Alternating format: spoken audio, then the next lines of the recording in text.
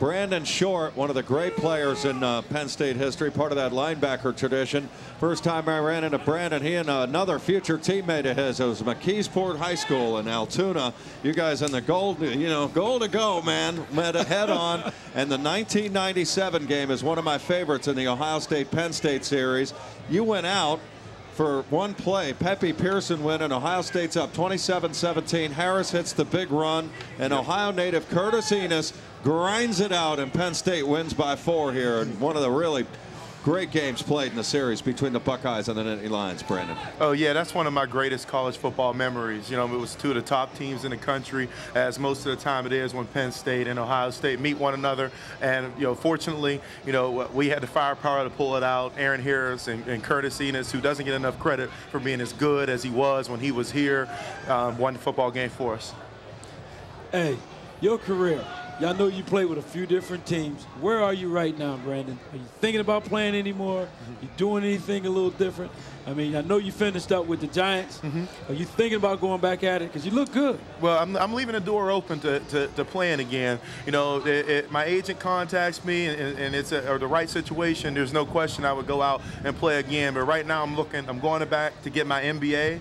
I'm doing some work with Bank of America. I have some things going on off the field that I'm excited about. But, you know, I love to play the game of football, and I'm, I'm a football player. Now, tell me, are you still training as you you know, exploring all these other options as far as with Bank of America? Are you still training just in case you get that call? Because the game of football in the NFL, there's always a lot of injuries, mm -hmm. and it, you know, they need to plug a guy in there if you're staying in shape, you know, you can be that guy. So is that what you're doing? Absolutely. I mean, you, you, you have to stay in shape. I mean, the game is so competitive. And, and as you said, and as you know personally, that, that, people get hurt every week in the NFL.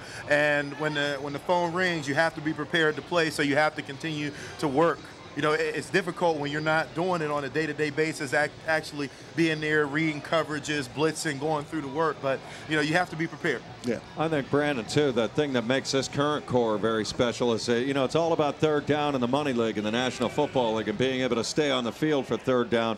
The one thing about Penn State's guys right now, Dan Connor, I think, made the right decision maybe to come back and finish out his senior year.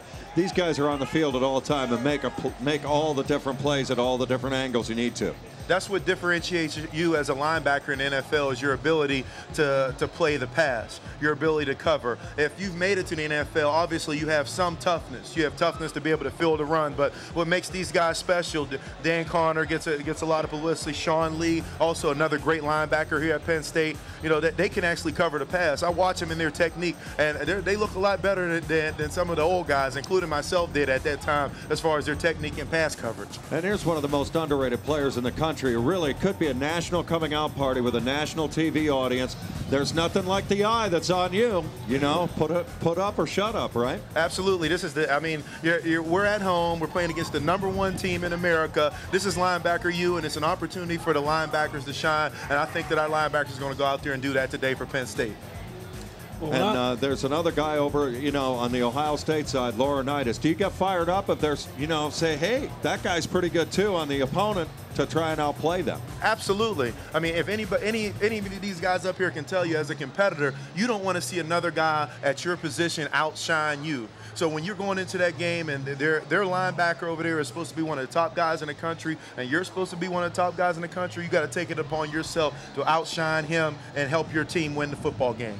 I think, too, sometimes great football teams, you know, Penn State suffered those two losses earlier in the year. Mm -hmm. And sometimes it's, you know, uh, you know, put tape on a helmet and go out, win a job, and just kind of get everything back together and try and, you know, they still have a lot to play for, this team.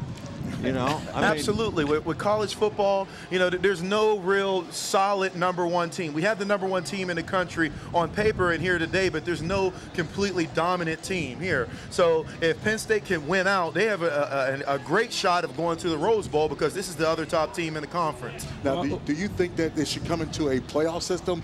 For, since as you saying on paper, there's there's no, you know, on paper there is a, a, a number one, but every week someone's getting knocked off. Do you think we should go into a playoff system eventually? Um, there, that the playoff system has been something that's been debated for years, and I believe it's something that definitely needs to be instituted. Simply because every year you have two or three teams with one or, or, or uh, one loss or that's undefeated. They have an opportunity to be the champion.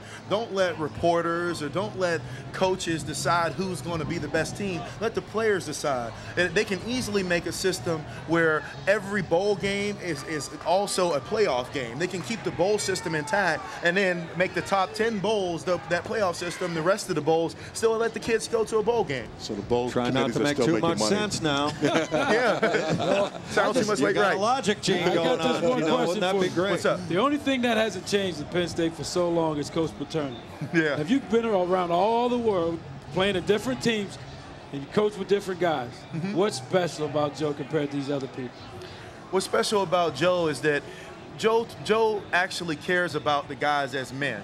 As individuals, if you go to, to other college football programs around the country, they're, they're meat markets. They just churn out. If you're the best player, you get on the field, you play, and you win, and then they don't care anything about you. Joe understands that the, the, the young men that he produces represents this university and represents him, and he's dedicated to putting out a good product. And that means if you don't go to class, if you don't go to, if you don't work out, you don't train properly, you don't play, and they don't care who you are. One of the most special uh, players is coming up, uh, Adam Taliaferro. Uh, thank you so much, Brandon Short. Appreciate seeing you, and uh, good luck. Hope you get back into the uh, NFL. Thanks for having me, guys.